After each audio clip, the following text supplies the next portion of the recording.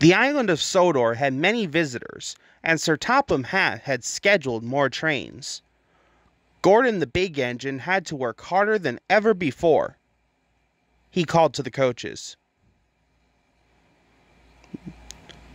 Whenever Gordon finished one journey, it was time for another to begin. He puffed.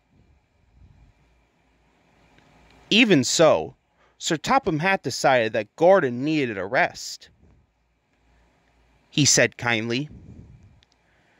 James was delighted.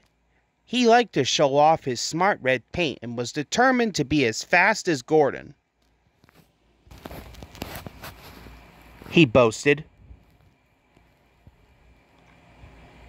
Replied Toby. Just then Sir Topham Hatt arrived.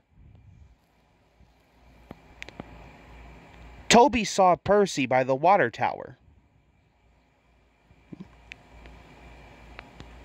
Soon Toby was out on the main line. He clanked as he trundled along. He's a little engine with small wheels. His tanks don't hold much water. He had come a long way and began to feel thirsty. In the distance was a signal, he thought. Toby was enjoying his drink when the signalman came up. He had never seen Toby before. Toby's driver tried to explain, but the new signalman wouldn't listen.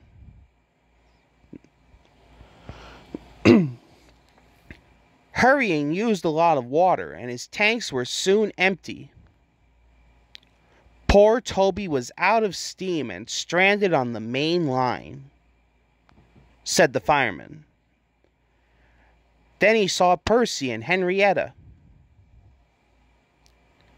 Henrietta hated leaving Toby, said Percy.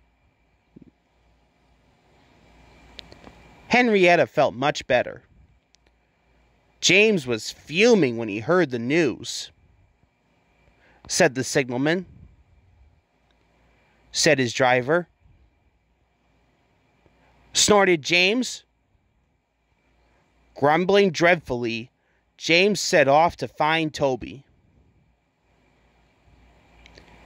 He came up behind Toby and gave him a bump. James had to work very hard. When he reached the workstation, he felt exhausted.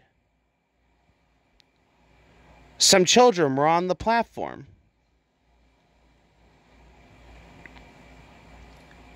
Whispered Toby. Said James sno- snoodily. Toby just smiled.